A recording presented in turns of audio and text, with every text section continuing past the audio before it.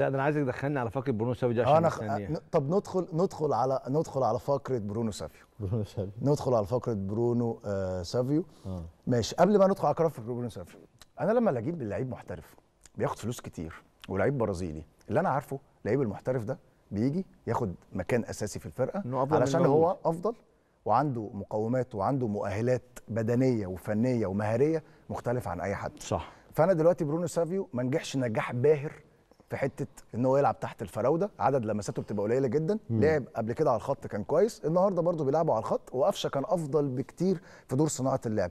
ولكن عاوز أوريك كم الكوارث اللي النهارده عملها برونو سافيو ليه برونو؟ سافيو آه طبعا يا كريم أنا جايب لعيب مهاري برازيلي. كل اللي أنا عاوزه إيه؟ أحطه في حالة واحد على واحد. أنا شفت له كورتين النهارده كانوا شكلهم ظراف يعني. واحد عملها ب head وواحد ما هي اللي بيهدوا دي برضه يا كريم قرار كان خاطئ جدا. سيبك من اللي بيهدوا أنا عاوز دلوقتي آخد واحد على واحد. أنا جايبك عشان واحد على واحد هيعدي ويروح من أي حد. نشوف هنا مثلا يلا. اول أول كورة كده في المباراة. هنا آه، دي كانت آه، قفشة هنا بيلعب الكورة لديانج وكان جابها قوية جدا ما بينه. بص يا كريم هنا قراره.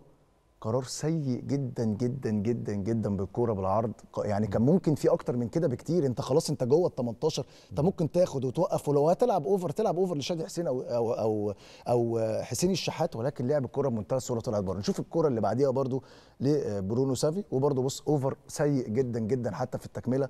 والكوره بتتقطع. علي معلول بيحاول فيها ولكن بتتقطع. نشوف الكورة اللي بعدها. نفس الكلام برضو. هنا عاوزك تبص على علي معلول. هيلعبها برضه هو بيتحرك كويس. هنا هياخد الكورة بص لوحده.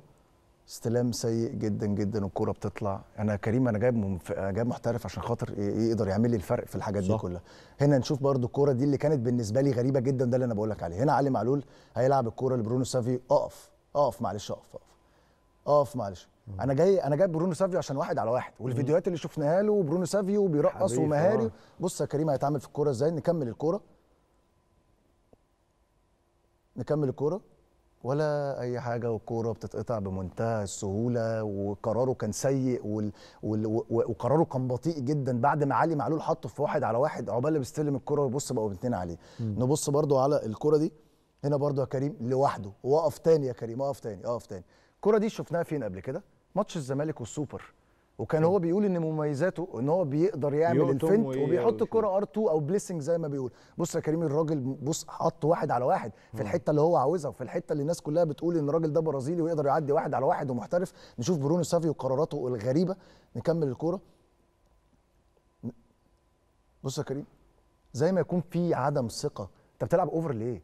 أنت محطوط واحد على واحد وأنت بتعرف ع- تعملها. أه، ده حتى فيديوهات ولسه اللي جاية من. بوليفار أصلا هو بيعرف يعمل دي كويس قوي بالظبط وأنت جايب أصعب منها في نادي الزمالك وفي مباراة جماهيرية ومضغوطة أكتر دي كورة توضح لك عدم الثقة إن أنت واحد على واحد وحتى كمان لو أنت لو أنت طلع لبره طب ما تحط placing ولكن هو لعب كورة صعبة جدا لشادي حسين عشان تطلع. نشوف برده الكور الثانية برده اللي آه، هنا الكورة اللي أنت بتكلمني عنها اللي تقريبا اللي هي اللي لعبها بدماغه.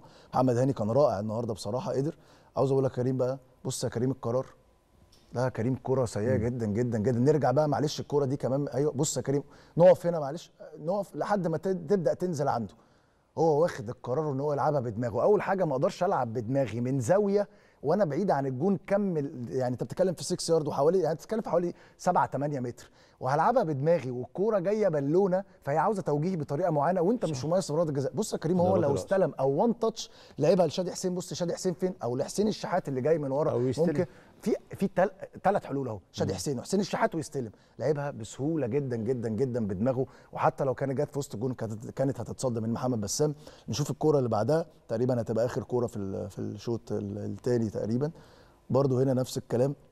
آه لسه في كورة كمان. برضو كريم بيحاول يقطم لجوه مفيش فايدة. نشوف الكورة اللي بعدها برضو اللي كانت مهمة جدا واللي بعدها هي دي. الكورة دي كانت في الدقيقة 58 علي معلول بصراحة يعني لاعب كورة. بص بص يا كريم الراجل وقراره الغريب جدا جدا جدا. مش باصص ولعب over بعد دي بثلاث دقايق بالظبط الراجل سحبه. خلاص بقى. فبرونو سافيو كان النهارده مشكلة كبيرة جدا وبقول لك قراراته كانت كارثية في, في, في الواحد على واحد.